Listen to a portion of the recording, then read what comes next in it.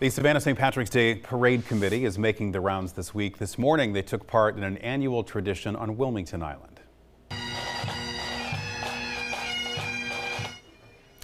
The bagpipers from Limerick, Ireland kicked off the Wilmington Island Presbyterian Preschool Parade this morning. This gathering is a favorite for families on the island. All of the preschool classes take part, along with some community entries as well.